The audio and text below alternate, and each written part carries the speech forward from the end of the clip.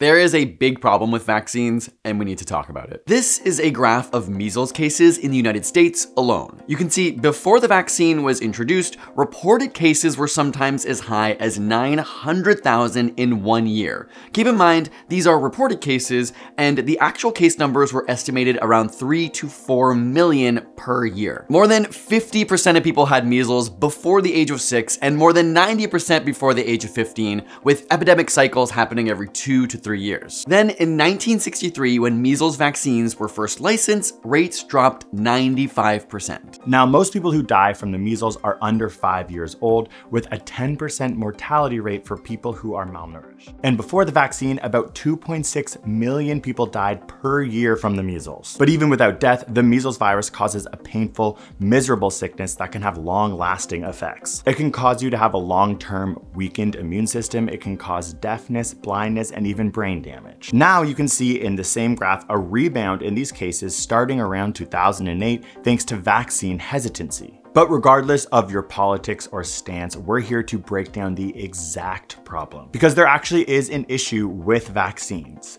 They work, too well. That's not a joke or an overstatement. If you're someone who is skeptical, please give us a chance to highlight the data. A majority of people alive today, in the Western world at least, are so far removed from the diseases that vaccines have kept in check or eliminated completely that they don't even think these diseases matter or exist. If you were alive in the early to mid 1900s, you would be seeing how damaging and awful this virus can be, knowing millions were dying every year and would have weighed up some possible minor risks or symptoms from giving your kids vaccines against the unimpeachable evidence that they prevent something much worse. It's why so many people were willing to take it. And that is just one virus. Here's a graph of polio cases since the 1980s. In 1988, a coordinated eradication and vaccination initiative was started worldwide, taking cases from around 350,000 a year and dropping them 99%. Before the vaccine was available, in the US, 13,000 to 20,000 cases of paralytic polio were reported each year. This meant thousands of children had to use braces, crutches, wheelchairs, and ventilators to breathe. And one in every 200 infections of polio leads to irreversible paralysis. Among those paralyzed, 5 to 10% die when their breathing muscles become immobilized. From 1964 to 65, before the rubella vaccine, there were 2,100 neonatal deaths and 11,250 miscarriages. And of the 20,000 born with rubella, more than half ended up deaf, over 3,000 blind, and 1,800 with mental delays. And even bacterial infections like tetanus show similar results. In 1990, around 350,000 deaths occurred worldwide. By 2013, this was down to 59,000. In the US, while not a major concern currently, nearly all cases occur in unimmunized individuals. Mumps cases, another virus causing serious illness, had a vaccine developed in 1967 and saw cases drop by 99%. Again, seeing a rise in the 2000s thanks to vaccine hesitancy. Hepatitis B is a cancer causing virus that wasn't discovered until 1966, with around 15% of the population being chronically infected in some regions. Once its genome was finally sequenced in the 1980s, development of vaccines began, with current effectiveness rates of 95%, seeing those numbers drop drastically in the US. At this point, I hope you're getting the picture, but let me give you one more massive example. Smallpox, the only human disease to be considered completely eradicated.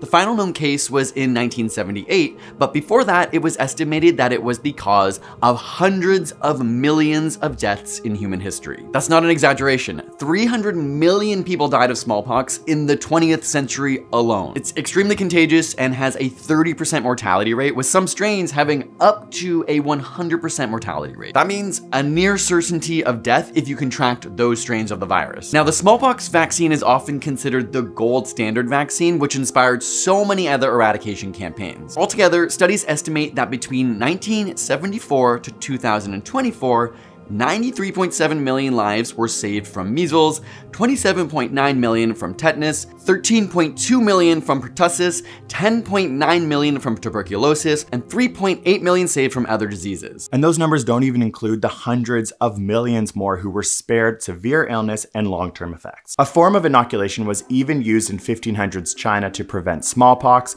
which was later adopted by Europe in the 18th century. Instead of a vaccine, they would expose people to a material from an infection infected person in the hopes that they would build an immune response, and it worked. While 1 to 2% of the people who were exposed or variolated would die, this was a much better option than the 30% of people who would die when exposed to the smallpox virus naturally. Of course, today we're not using the same process of variolation. We use modern day vaccines, which are much more safe and way more effective. Vaccines typically introduce a weakened form of the germ to your body so that the immune system can learn to recognize it. Your body then builds its defenses so it is prepared to fight off a real attack later. These are known as live attenuated vaccines, like measles, mumps, and rubella, which are very effective but can't be given to people with compromised immune systems.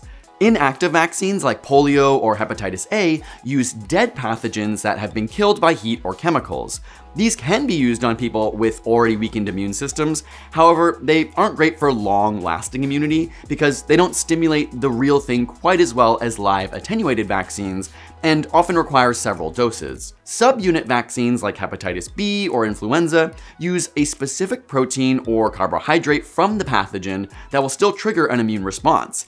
And of course, mRNA vaccines were made most famous because of COVID-19 and have a really ingenious mechanism of action. In a regular cell of your body, you have DNA inside of the nucleus, and this DNA stores all the information and instructions important to the functioning of your cells, your body, and ultimately makes you you. Inside your cell is machinery that reads through your DNA and transcribes it into mRNA, which then leaves the nucleus and goes into your cytoplasm.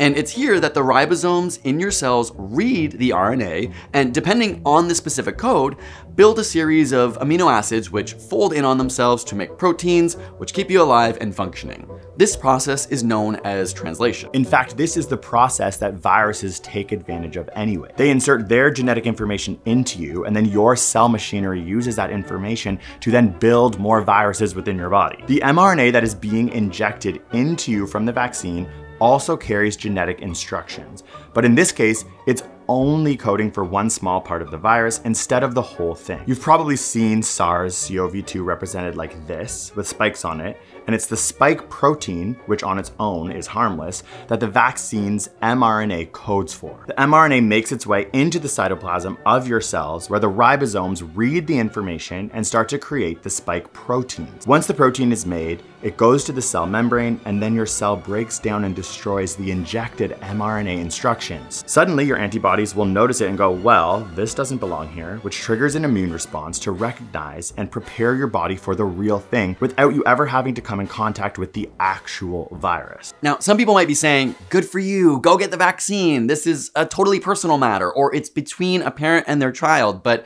just remember that you getting vaccinated helps other people and society. If you're not sick, you can't spread the disease to those with weaker immune systems, particularly the very young or elderly, and those who may have medical conditions in which they can't be vaccinated. For example, those undergoing chemotherapy. The more people that are vaccinated, the less available real estate there are for germs, meaning its spreading ability is squashed. This principle is called herd immunity. For the vulnerable in our society, herd immunity is their best protection. Of course, we should always be skeptical of a trillion dollar pharmaceutical industry, but we also have to understand that we're dealing with hundreds of years of data on how vaccines work. It's true, drugs have been pulled from the market after harmful side effects came to light. However, vaccines are among the most highly regulated substances we can put into our bodies, in part because they are given to healthy people usually children, as a preventative measure rather than a treatment. They go through multiple phases of testing to see if they are safe, to find the correct dose, and to see if protection against the disease actually works. In Canada and the US, it can take 10 to 25 years of testing before a vaccine is approved, and once on the market, there's continuous monitoring of its effects. At the end of the day, when we look at our history, there's no doubt that vaccines have saved hundreds of millions of lives and kept many more healthy. And while, of course, we should always be pushing for further testing, safety regulations, making sure the side effects of vaccines are as minimal as possible, I think it's important to stop and recognize that so many of us are so lucky to have grown up in an age where we don't even really know what these diseases look like or how they can impact society. And that is truly thanks to vaccines and modern science. Let's not bring those terrible diseases back. Thank you so much for watching, and we'll see you ASAP for some more science. Peace.